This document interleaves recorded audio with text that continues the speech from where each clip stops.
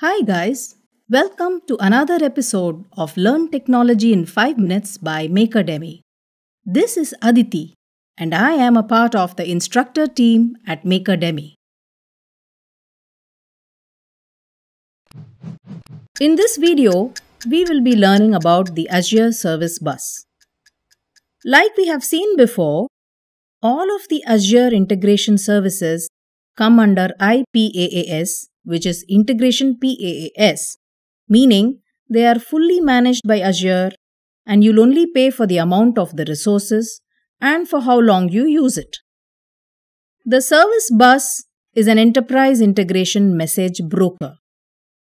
From the last video, we can understand that the service bus is used to transfer messages between services and applications in a reliable and secure platform.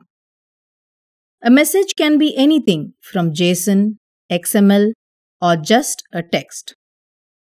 The main thing to note here is the communication here is asynchronous. Next important thing is your message can be published to a queue or to a topic on the service bus. In the case of the queue, it will be FIFO logic. So at one end, the sender sends a message, which is then retrieved by a receiver at the other end. But note that you can only have one receiver. Queues store messages until the receiver is available to receive and process them. That is, the messages will only be delivered when you pull them from the queue. This type is mainly used while making online payments. There are mostly a payment service and order service separately. So when you make a payment, your message gets in a queue for payment service. If for some reason your message gets dropped or corrupted in the message queue, the queue tries to process your message again by saving it in a different queue. This happens till your order gets through. Cool application, right? Okay, now let's get back to the scenario where you couldn't have multiple receivers at the queue ends. In this case, you would go for the topic and subscription model where your message gets published under a topic. Multiple applications or services can subscribe to that topic, and whenever a message gets published, these subscribers will be able to get the message. Here you can have multiple receivers. If your application doesn't need all of the messages coming through, then also you can add filters to filter out the type of message you want.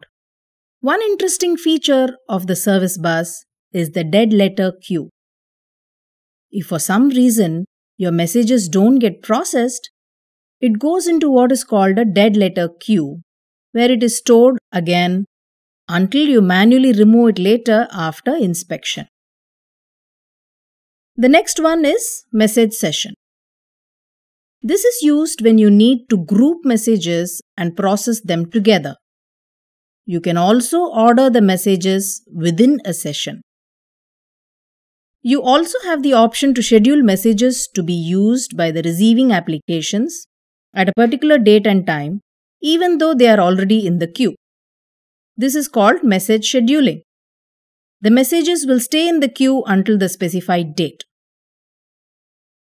You can also have auto delete on idle for individual messages, like if they don't get consumed within 10 minutes, then delete the message. Another good feature is duplicate message detection. Here, the duplicate message is not allowed to the other end. Also, the protocol used for sending the messages will be AMQP, but you'll also be able to send them using HTTP. In this video, we learnt about the service bus and its features. That is all, folks. If you like this video, smash the subscribe button and ring the bell to be updated about our future video releases.